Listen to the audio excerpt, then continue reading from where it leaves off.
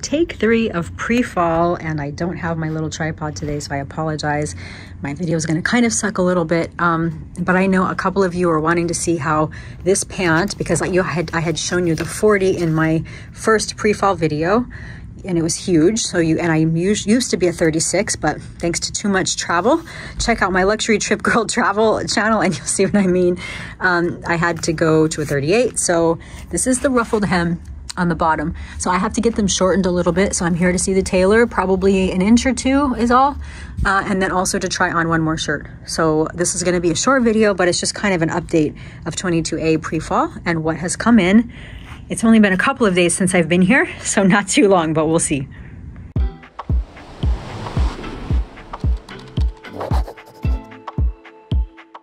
Okay, in addition to the jeans that I already own, I'm gonna try on this tank top.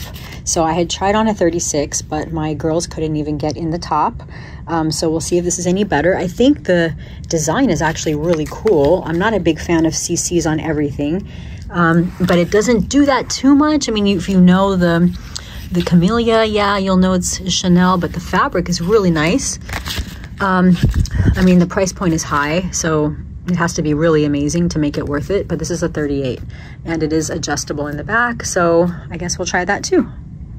Okay, everyone, I'm sorry for the bad quality here, but like I said, I left my little tripod uh, somewhere else. So, um, so these are just two pieces. So first of all, for those of you that were waiting to see how these jeans fit, to me, the 38 fits great. It's a little bit loose in the waist. That's how I like them. So I'm not going to show the tailor or she's going to want to make them smaller. so, um, so they fit well when I sit down. I don't feel like it's too much. The C's do hang a little bit low on the behind. Um, so it's not the most flattering on the butt that's okay um, for me. And they are running long for me, but I'm only five foot four. So, um, you know, they need to be tailored a little bit. That's my impression. impression. Um, and I did bring them here so the tailor could do that. So let's take a look at this top. Um, I think this thing's a hot mess. So I think it had potential, but I think it got messed up. So for one thing, as you can clearly see, um, my bust does not fit in here. I am a 34C and this looks like it was designed for a 32A or B, even in a size 38. So it definitely does not fit here. Um, if I were to bend forward, I mean, it's not holding the girls in place like it obviously should, especially at this price point. I think the design of it's really cool. I thought it was adjustable. It's actually not. It would have to be tailored and taken up.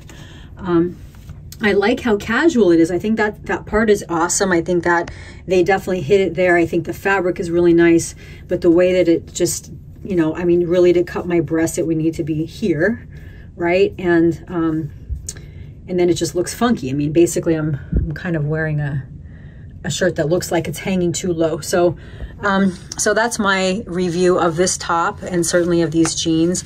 And I don't have other items to review today. So this is gonna be a very short update of 22A uh, as I had promised. So this is my third video. If you haven't checked out video one and video two, I try on a lot more pieces.